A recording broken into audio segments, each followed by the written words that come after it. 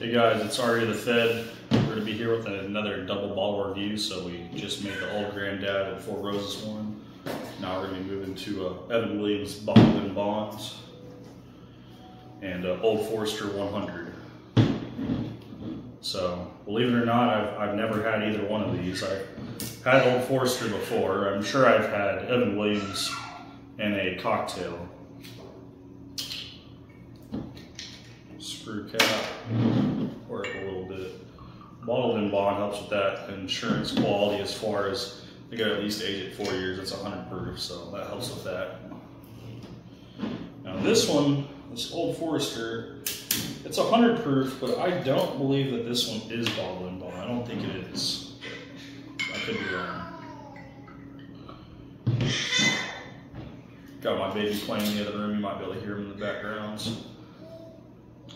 Yeah, nothing, nothing on this Old Forester about it being bottled in bond, which is okay. 100 proof, 50% alcohol, that's fine. And then bottled in with Evan Williams. So let's uh, go ahead and see if we can get out of these. Using shot glasses, we don't have any Glencairns. Well, we have one. Uh, I broke a couple.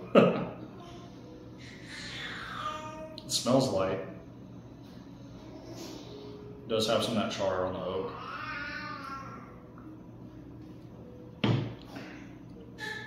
Has like little to no burn. I was actually really surprised there's like no burn on this.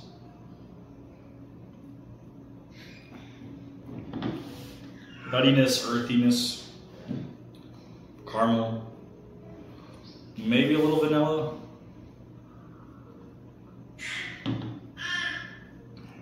Hmm. Not really sure on that.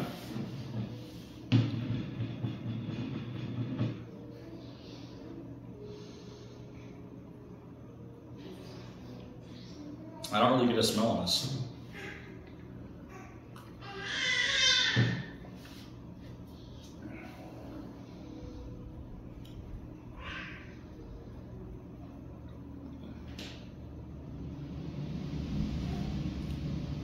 Wow, that's uh, like an explosion of butterscotch, like your grandmother's purse, that little yellow butterscotch candy.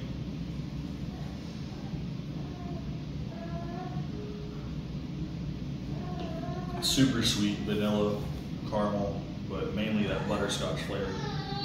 A little bit of char from the oak. Not bad.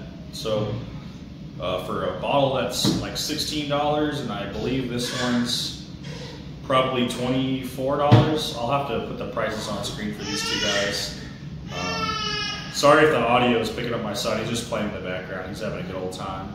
Um, we changed the studio here because we're doing a, a, video tonight, so we'll try to make sure that our audio is as best we can for that.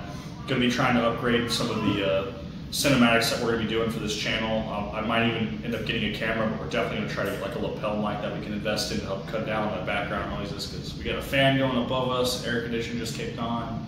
Uh, this is a wide open room, so we get a lot of echo. That's why I got a, a rug in here to help dampen some of that sound. But uh, double bottle review of Evan Williams Bottled Bond and Old Forester 100. Both fantastic bottles for the price. I mean, you're talking under $25. That's going to be a tough one to beat. Uh, maybe if you could find Buffalo Trace at $25, but even then, like these are good contenders, especially as a staple in your bar.